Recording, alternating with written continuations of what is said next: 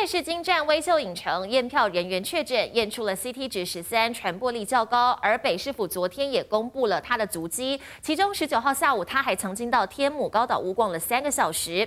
高岛屋在昨天接到讯息之后，紧急在下午四点停止营业，连带今天也停业一天。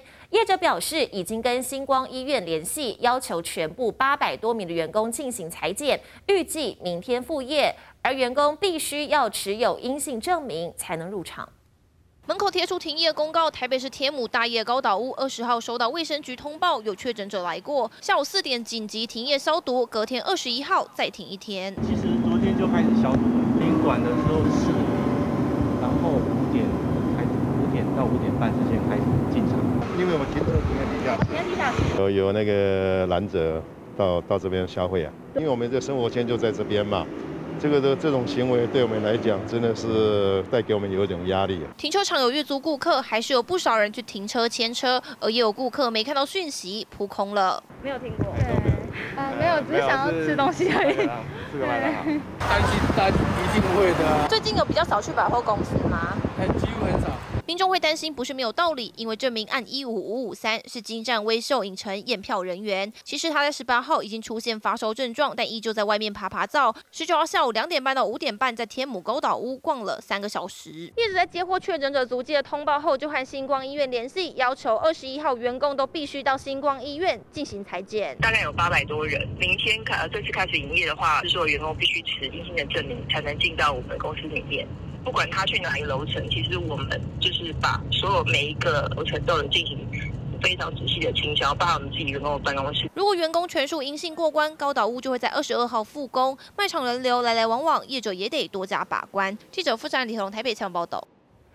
国产高端疫苗通过紧急授权，接下来会陆续提供五百万剂给国内民众施打，也让国产疫苗的效力还有安全性引发各界讨论。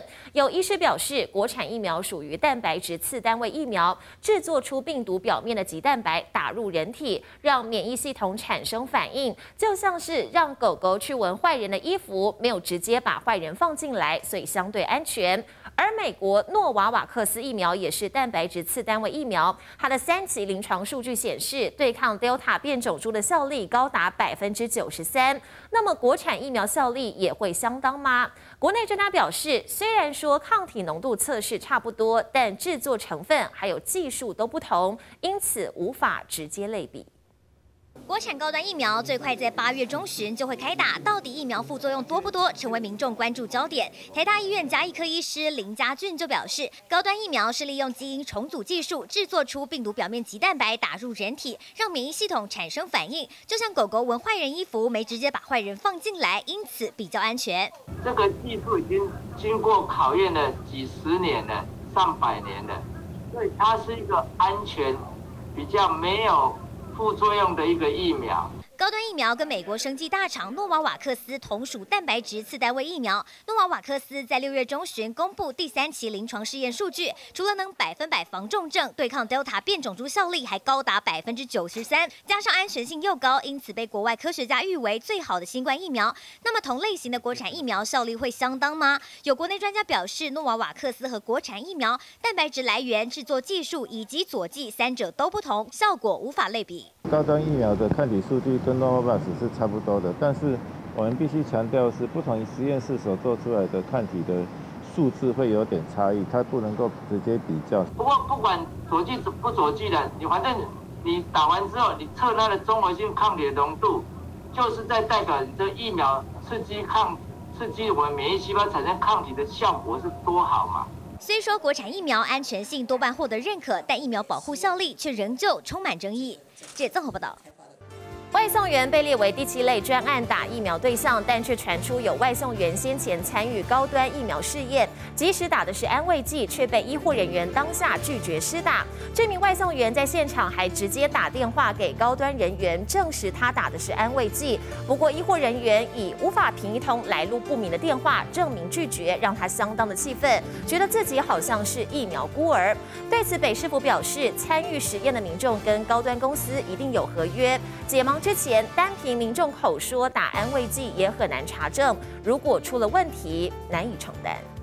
每天在外爬爬灶，又接触不少人。外送员被列为专案施打对象，现在却传出一名外送员因为曾参与国产疫苗试验，导致他无法打到莫德纳，沦为疫苗孤儿。他很气愤，他觉得说他在帮呃这个国家去当实验，结果竟然没有办法呃合法的施打疫苗。其实他现场是不太愿意离开的，他他就是很坚持，他今天一定要打。这名外送员在今年二月到四月间报名参加高端疫苗的试验，后来因为外送员身。身份被列入第四类名册中，他联系高端人员，得知自己打的是安慰剂。七月十九号当天前往内湖高工接种，但打疫苗前被医护询问是否打过疫苗，他坦白打过安慰剂，对方担心混打会有风险，拒绝让他接种。外送员只好在现场打电话给高端人员，但医护跟他说无法凭一通来路不明的电话证明当下错失打疫苗机会。那我们有跟实验单位这边。呃，拜托说，那你可不可以开一个证明？可是实验单位好像当下并没有办法承诺说他可以开立这个证明。那呃，确实我们不能凭一个呃电话号码或是一通电简讯，我们就可以证明说他确实是。呃，没有问题。外送员很无奈，当初参加国产试验，却差点没疫苗可打，怀疑疫苗孤儿不止他一人。北市府则表示，参与试验的民众与高端公司一定有合约，在解盲前单凭民众口说打安慰剂，是否也很难查证，出问题难以承担。疫苗接种站人员的做法并没有错，而国内还没开放疫苗混打，基层作业却引发混打之乱，就怕再有争议，医护严格把关。如今问题浮现，相关对策要提早。拟定。记者综合报道。